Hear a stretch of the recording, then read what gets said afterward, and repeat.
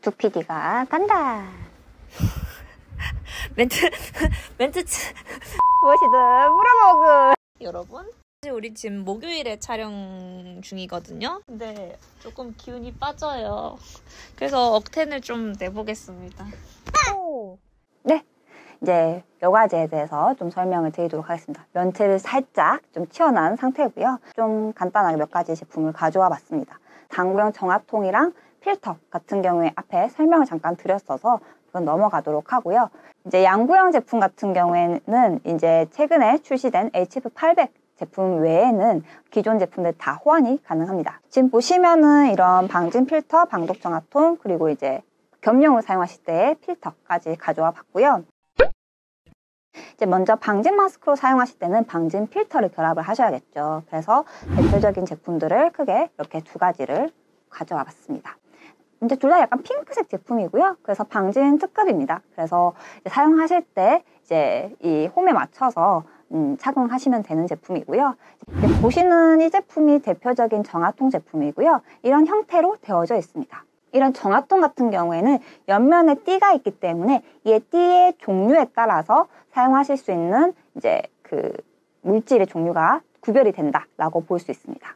한국산업안전보건공단 인증 기준에 따라서 뭐 유기화합물이면 갈색, 아황산이면 노란색, 암모니아는 녹색 이런 식으로 띠별로 분류가 되고 있습니다. 그래서 저희 제품 같은 경우에는 이제 한 가지 종류의 물질도 있고요. 여러 가지 두 개 이상의 물질에 대해서 사용하실 수 있는 정화통도 있기 때문에 만약에 정 잘 모르시겠다, 어떤 용도를 써야 되는지 잘 모르겠다 하시면 저희 쪽으로 문의 주시면 이제 상담을 도와드리도록 하겠습니다.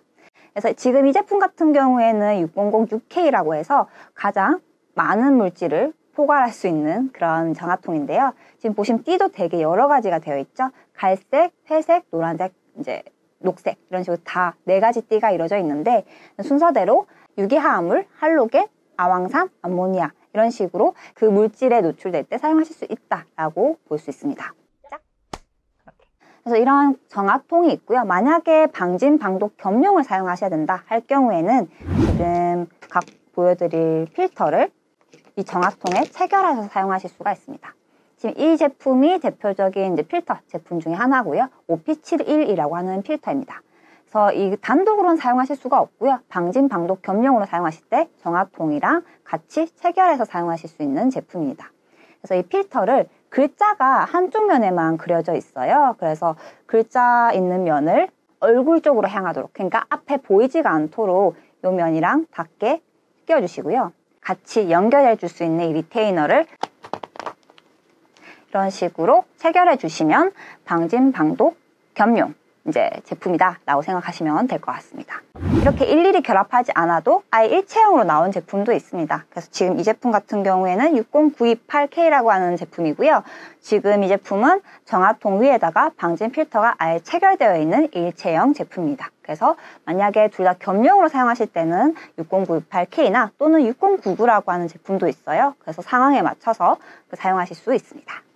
그래서 방진 마스크를 써야 되는지 또는 방독 마스크를 써야 되는지 아니면 그 둘 다 결합된 방진 방독 겸용 제품을 써야 되는지를 정하셔서 적절한 여과제와 이제 본인의 얼굴에 맞는 면체를 조합하셔서 사용하시면 될 것 같습니다. 잠시 다시 면체로 돌아가가지고 제가 궁금한 게 있는데 면체가 되게 이게 파트가 많은 것 같더라고요. 혹시 면체에서 뭔가 교체를 할 수 있는 그런 부위들도 좀 알려주실 수 있으신가요? 그래서 이제 이전 영상에서 안면 부여가신 마스크는 뭐 손상이 되었거나 오염이 되었거나 아니면 숨쉬기 힘들 때 교체하시라고 말씀을 드렸는데 이러한 직결식 호흡복은 재사용이 가능합니다. 이러한 직결식 호흡복을 사용하시다가 교체하셔야 되는 부분이 있어요. 그래서 그런 부위가 어떤 부위가 있는지를 잠깐 소개해드리고 넘어가도록 하겠습니다. 오. 지금 이 면체들을 보시게 되면 옆에 있는 이런 스펀지 같은 부위가 있고 뒤집어서 보면 이런 머리끈이 있고요. 그리고 이렇게 안쪽에 보시면 이제 그 밸브 판막이 있습니다. 그래서 각각 이제 교체를 하실 수 있는 부위고요. 사용하시다가 어, 금이 가 있는 걸 보시거나 아니면 너무 이제 변색이 됐거나 아니면 변성이 됐거나 재질에 대해서 조금 기존 처음과 다른 상태를 가지고 있다 하실 경우에는 교체를 하실 수가 있기 때문에 그 교체 부위에 대해서 별도로 구매하신 다음에 교체해 주시면 재사용이 가능합니다. 지금 보여드린 FF400 시리즈도 교체 가능한 부위가 있고요. 6000 시리즈랑 동일하게 머리끈이랑 배기밸브, 막이 이제 교체가 가능합니다.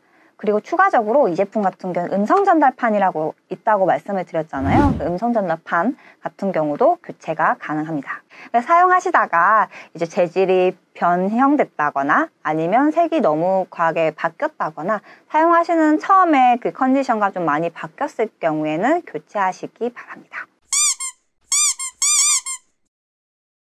그래서 이제 지금까지 이 각각 면체와 여과제에 대해서 쭉 설명을 드렸는데요. 이러한 호흡보호를 사용하실 때 유의하셔야 될 점 중에 하나는 항상 사용하기 전에 이 사용하시는 호흡보호의 상태를 꼭 점검을 하셔야 됩니다. 상태를 한 번씩 꼭 점검하셔서 처음과 그 기존 상태가 그렇게 많이 바뀌진 않았는지 아니면 너무 재질이 변형이 돼서 좀 문제가 있진 않는지 아니면 좀 손상되진 않았는지 이런 거 꼭 확인하시기 바라고요. 또 오염이 되었을 경우에도 이러한 면체 같은 경우에는 세척을 해서 재사용할 수 있기 때문에 그런 부분도 꼭 확인하셔서 아, 문제가 없을 경우에 착용하시고 작업 환경에 들어가실 수 있기를 어, 권장드리겠습니다.